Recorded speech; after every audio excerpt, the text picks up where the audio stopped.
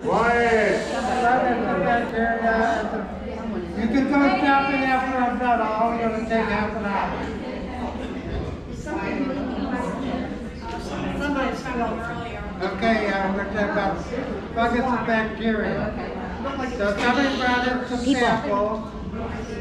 I've never seen anything like this, so I can't help her. Excuse me? Okay. The, uh, first thing you have to remember is that fungus and bacteria can be our friend. And let's take fungus, for example.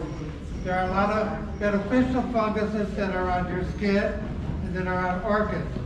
And if you remember back in the old days, they used to sell pHisoHex. And you wash your hands and get all the germs off of you, and then your skin would like be all messed up. Yeah. And that's because you killed the beneficial fungus too. And was a great uh, guy that just died recently, Bill Carpenter, the, a famous architect and uh, president of the American Orchid Society, said to me one time that putting fungicides on your orchids is the hardest thing you can do to them. And another guy said to me, he was giving a talk on, uh, a guy that raised a million phalaenopsis a year to sell that, Best Buy and Lowe's and Publix. He put on fungicide every other week. So, of course, he only made fail, and there were only like ten different guys that he made a million of, because they were the ones that could handle it. Okay, so now let's go to, uh, first of all, there anybody got any questions on a, on a certain problem they have? Okay, nobody has any problems? Well, we can make this, do it. What causes the um, new shoot with the new uh, hopefully flower to turn brown or black? The shoot turns black? Or the flowers turn black? The, the flower spike turns black. What, what about the, what about the pseudobulb? The symbol is fine. I never seen anything like that. It might be thrips kill the spike. It's not a bacteria or fungus, it's usually an insect that does that. That. So we're not gonna talk about thrips. Okay, so anyways, uh, who's a member of the AOS?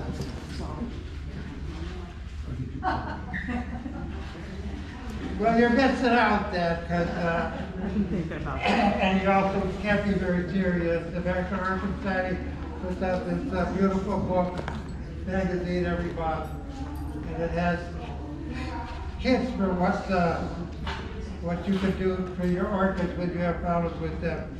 So here's a whole remedy.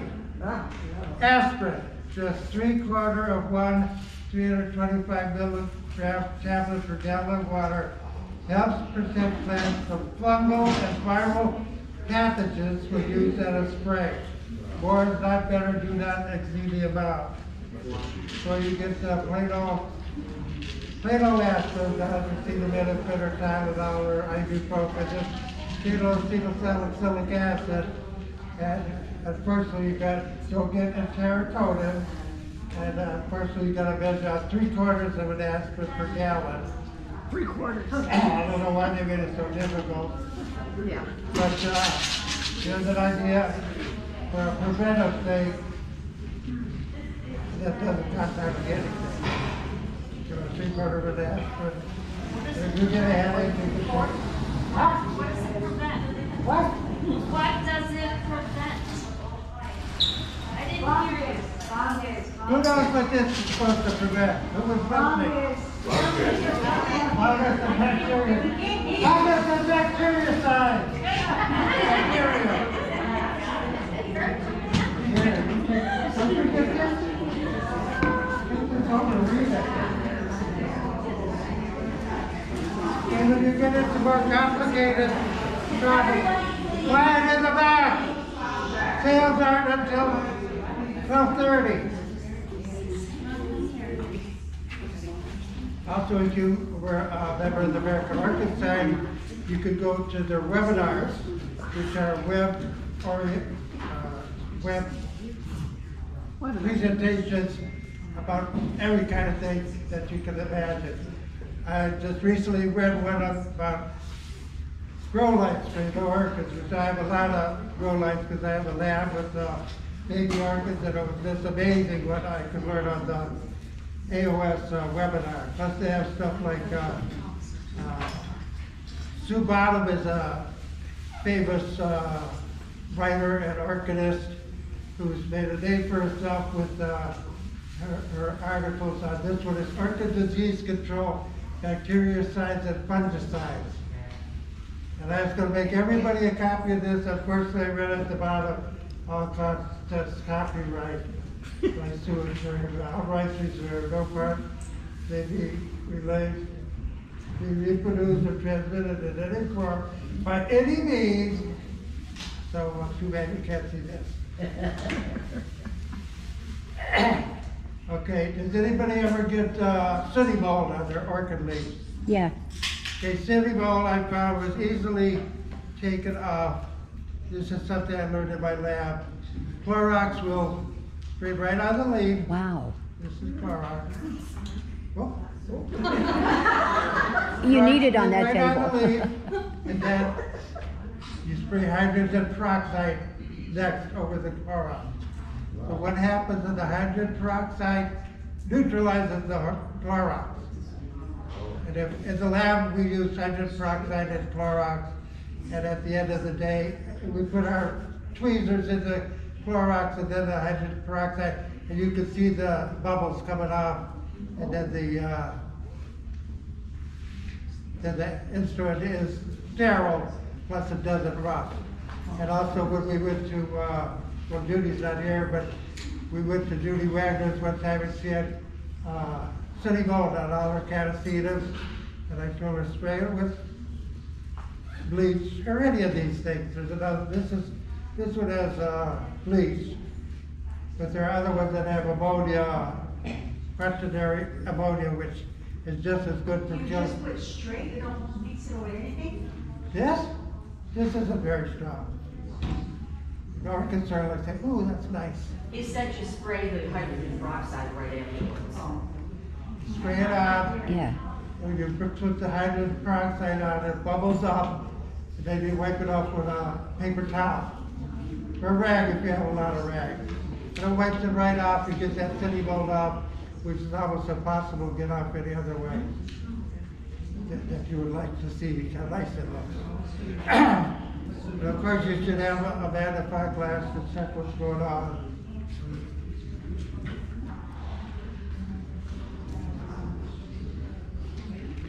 Uh, uh, Brown leaf tip, what causes that? Usually not a fungus. Except if it looks like this. Uh-oh, where'd that go?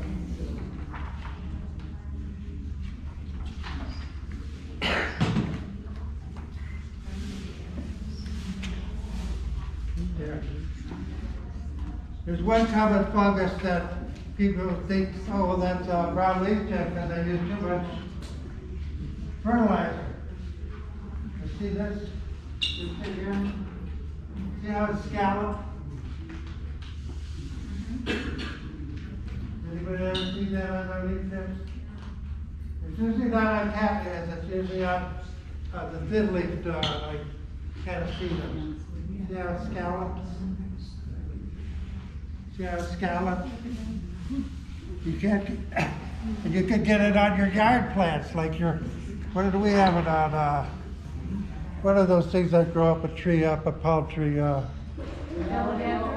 What? Yeah, philodendron. We had it on our philodendron, but I couldn't figure out why the plants underneath the trees by the philodendrons were always getting their leaves, the grass Like an oyster shell. So that's a fungus. And that's probably the most common one that I've seen around us. Is is the scallop? Is the scallop?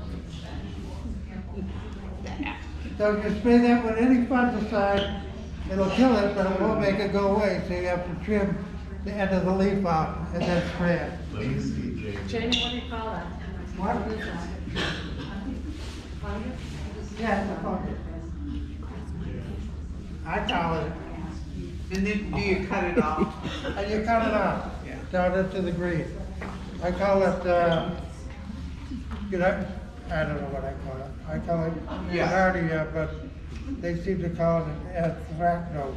You spray it with what? with typical alternating bands of dead tissue. So that you would spray your plant with a fungus to keep it from coming back, and then you gotta cut off the dead stuff too. And that's a very common thing, because it also goes on other plants, like I said, the uh, philodendron. And I mean, that philodendron was forty feet up in the air on a palm tree. We had to tear the whole thing out finally in order to get rid of the infection. Okay, so. So we talked about, oh, and then of course your peroxide, if you get crown rot, I don't think it, I don't think it works. But, uh, I don't know, somewhere they say if you get crown rot your phalaenopsis, spray the crown with hydrogen peroxide. I tried it, I didn't think it worked. I do, usually throw away things with crown rot. Uh, What, What is the percentage of hydrogen? this is three percent. And that's, this is when you spray on your boo-boo.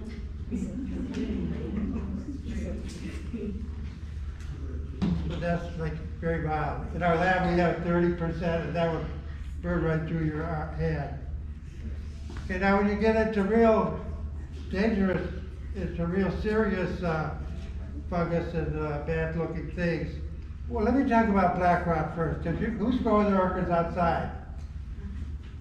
Who's growing their orchids in a greenhouse with controlled conditions? Well, No, We're hot. It's too hot down here for greenhouse. Shade house. Okay. But you can put a roof over your greenhouse, Well, we'll call it a shade house, but with a roof over it so it doesn't rain on it. Yeah. Has anybody got that? Yeah. Okay, a couple of people. Okay, well, the biggest one is you gotta control the water in the rainy season. Unless you live by my house where it hasn't rained for three months. So, I think, that my own theory is, is once the rainy season comes, you start getting black rot, and supposedly black rot, I mean, that's where, all of a sudden, like in the middle of a leaf, towards the axil, and you'll get towards the ear, especially the new growths coming out, in the little, they just turn black, and that's very deadly disease. And if it's not taken care of right away, and even if it is taken care of right away, frequently you just lose the plant. So what you gotta do is, uh, try to control the water. So what I finally did was I put a roof over my shade house, plus I had a greenhouse where I never got the black rot, because I had a wet pad, it was cooler in there, and, and that was the best way to go. But, uh, most of people are just casual orchidists that aren't serious about it. So, so, uh, the best bet is just buy new ones and throw away the bad ones. Now, so anyway, you gotta cut off that black rot, cut down into the green, then put cinnamon on it, its spray the plant. And usually, it was always in an area. And a bunch of, uh, you you know, a little bit bigger plants, not seedlings, but a little bit bigger like that. So in this area, one or two would get them, pretty soon three or four would have them, because it's spread by the water. So whether it comes from the rain or even your overhead watering system, once you get that black rot, that's like a, a death sentence for that plant. I eventually got the point where I just threw away. But you can't cut it off, coat that with cinnamon. You can even, uh, spray the Clorox right into the cut. I, I went away last week on Friday and I watered some up on little miniature, um, plants and they were fine. And I put it back where I keep it. And three days later I came home and the whole plant was collapsed. I never saw anything happen that fast in my life. It got ground on. Oh, wow. Hundred and fifty dollars. So painful.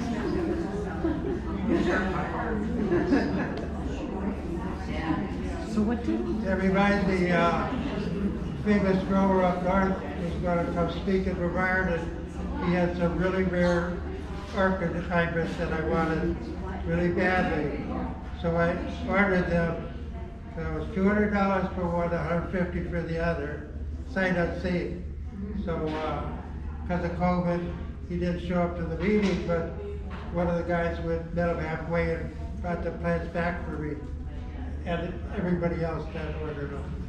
So I get it home and I sent it aside, I said, well, I'm gonna repot these, because it's always, always, always- I think it's better repot for somebody else's mix, you never know what's going on. Uh, Right in the middle of one was like a, not black rot, but rot, you know, like this, the yellow stuff that down right by the rhizome. "Oh, Cow, two hundred dollars? I divided it.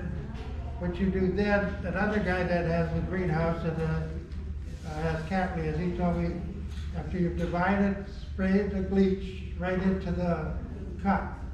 Like, force it, in- force it into the cup and then coat it with uh, cinnamon. I tried that once and it didn't work, but he says it works. Okay, who has fire blight? You have fire blight? What is it? I don't even know. Like those spiders all over. Huh? It's all like spiders. Spiders?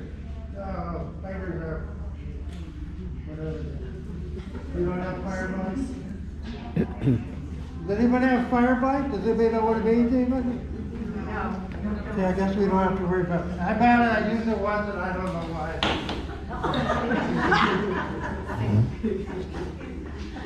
Another fifty bucks down the drain. It's a very good article. This is found with most people. Where's Andrea? Andrea's on the other side. She's probably the one that, she's the one that told me to do fungus. Oh, all right. But recently, people have been having this on their cat cattleyas. I guess I should have read this article. You know that plant, that one, Yeah. Recently, people been getting, two leaves. That was like sunburn. It's got that. Oh. And I watched the leaves. So it would survive? They didn't do the peroxide thing, but it was cool, I get on. you know, it, you should hire them. I've been watching. That's, I, that's, Maybe you should remind them, you know. They should really- That's something. Yeah, they were reported last year. better get, public, get this public. Anyways, recently, a lot of people been having like a discoloration on their cattleyas. Maybe what so it. Discoloration. That. Turns out that was a fungus, it's like a new fungus from, from South America. This one. And they're just sort of happy looking, they're nice and green. So It's a new fungus, funguses from, Sou- fun- fungi from South America. A lot of people have been asking about it, to wonder what they should do. It doesn't look like, oh, wow, this is gonna die, it looks like.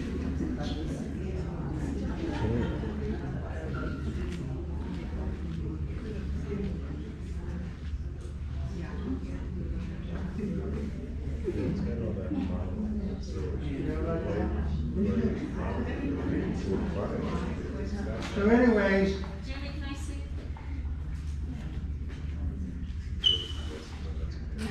huh?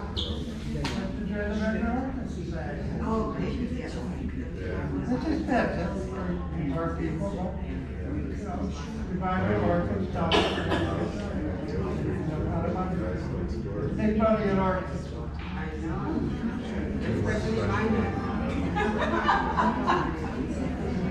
Okay, so what do you do about that? Well, there's not much you can do. You can Why, why, why? spray it with a fungicide, then you gotta let it grow out.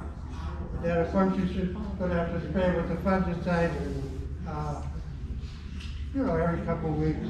What kind of fungicide? Well, whatever you can buy at Lowe's or Home Depot, because you're not gonna go to a pop are you, to get the good stuff, No. because it's so far away. Don't you have a And conversation? you can't come to my house because it's so far away. I haven't talked to I, I them. use the Bayer three in one, I never have a problem with that outside. I spray, I spray it every couple of weeks with a Bayer three in one, and There you go, Bayer three and one. it's dirt Uh, cheap. Where do you get it? Home Walmart. Depot or Depot, Lowe's. Lowe's. Yeah, I got it at The Walmart. Bayer products are excellent. Da- Daconil is a fungicide, and that's a good one to use on your uh, orchids, because it's, number one, that they haven't canceled it yet, because it's, works too good or it's killing uh, people. So that, that's been around a while, and it's safe to use, D-A-C-O-N-I-L. So that's a good uh, general purpose fungicide you could use. I thought that if you go to like Busy Bee or Say that again, Jamie. D A what? D A C O N, Daconil.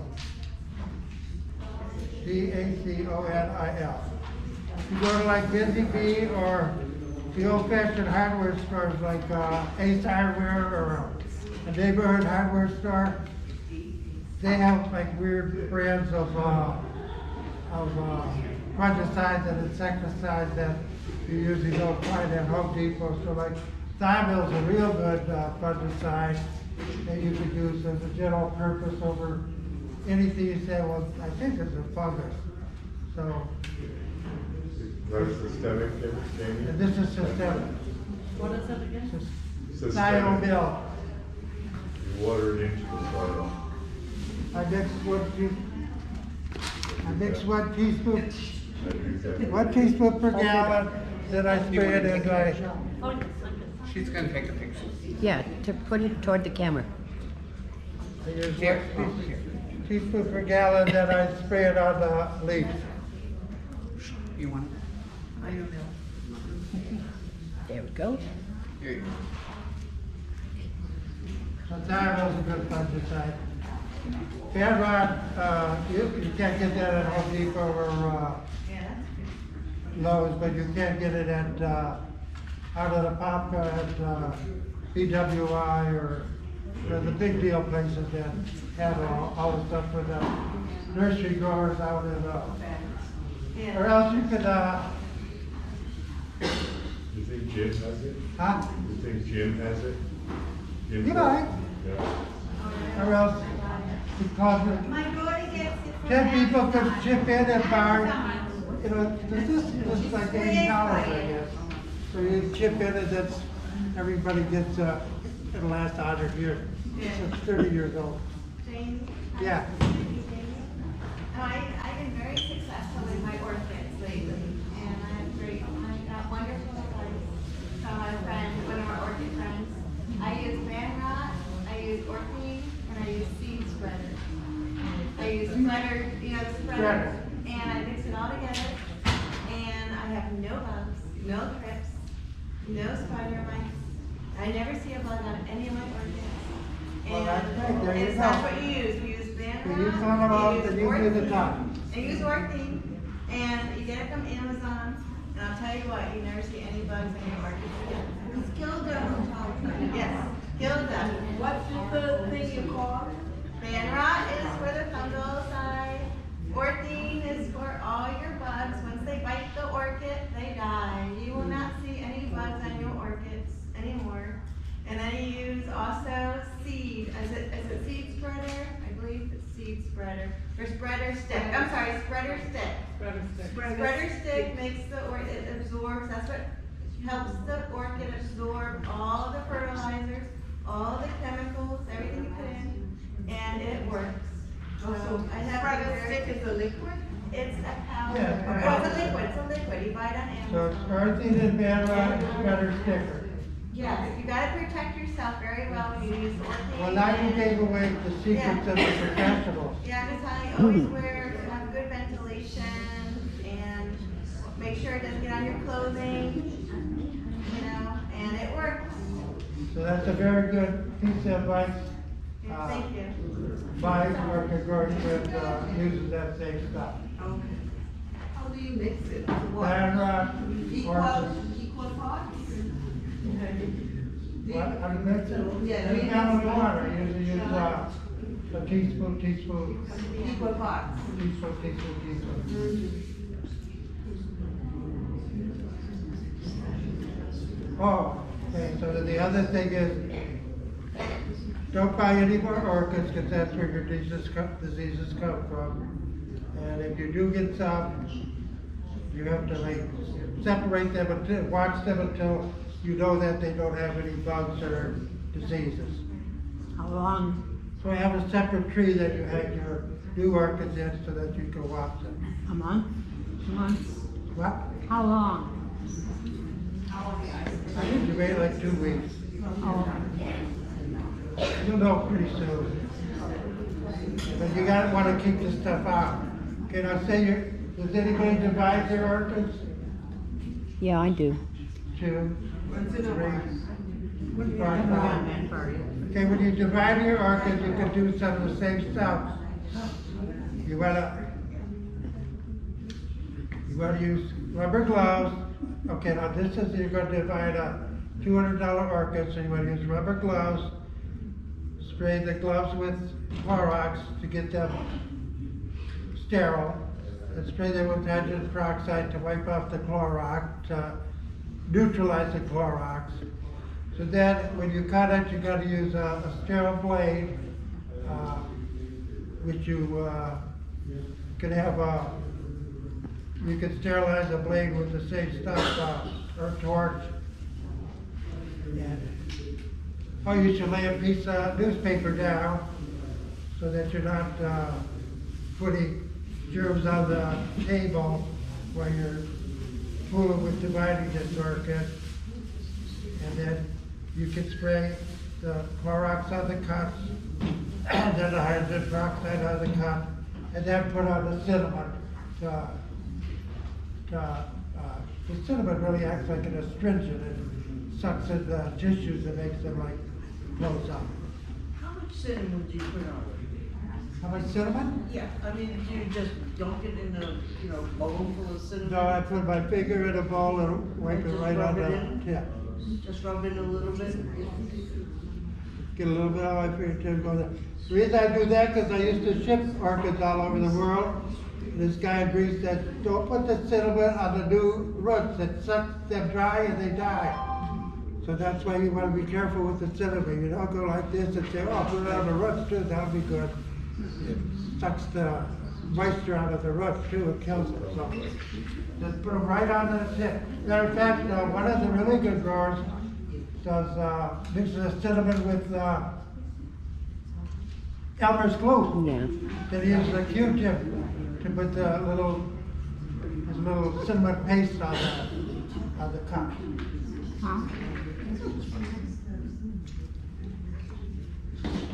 Okay, so these things here. This is that, looks like that leaf spot.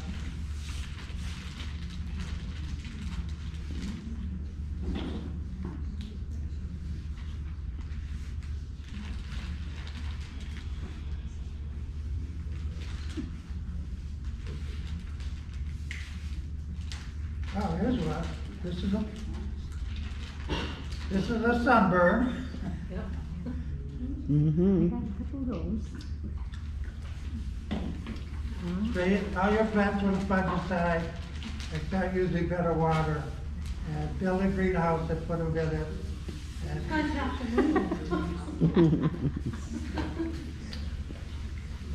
some of that looks like old age and sunburn and, uh, A lot of sunburn. and that new leaf spot right there. You don't have this magazine? Yes, I have it magazine. Read it. Okay, let, let me tell you my tale of woe. We left for three weeks. We went to Texas. Oh. Came back, and my orchids look like S-H-I-T. Oh. And it was just- I've lost about twenty of them. Right. I don't think we had that much rain. They were at, We had very little rain. yeah. We've had about- like a zero rain. The the last few days before I went away, it was raining. A lot. It Rained every day while I was away, they said. Do we And I could see in my, my cart, there was just like water in my cart, so we got four inches of water. every day. Okay, I I didn't, If you don't have, uh, an area where there's a good strong wind, my plants at the new house, they're not in a greenhouse, they're under, a I call it the grape arbor where there's shades between the trees, there's shade between two poles I put in, or there's a pergola that I put a wooded, uh, what do you call those things? lattice work on the ceiling and then you could, I hang it, the orchids, because orchids like to be up in trees. So they, uh, really like to hang, so even though I put a pot, I hang them up in the, on, on uh, down, they're really proud of it there. And, but the wind, luckily for me, we live where the wind blows through like crazy. Back when we had a greenhouse, I had four hundred dollar fans, two of them at the one end of the greenhouse, and they would suck air through the greenhouse like crazy, and I ran them 365, 24 seven, Christmas and everything. You- if you can get enough airflow, the orchids will avoid fungal infections, and, uh, if you can keep new stuff from coming in, then it will help you, and if you can govern the rain. Uh, Oh, one more thing, one of the guys that works in my lab, he's got like a bazillion orchids and a bazillion uh, green, uh, he, he won't let me come over to his house, but he lives over in Daytona, so. He comes over once a week and works in the lab, and he said, I said, haven't you groomed anything yet? You've been working in here for like ten years now.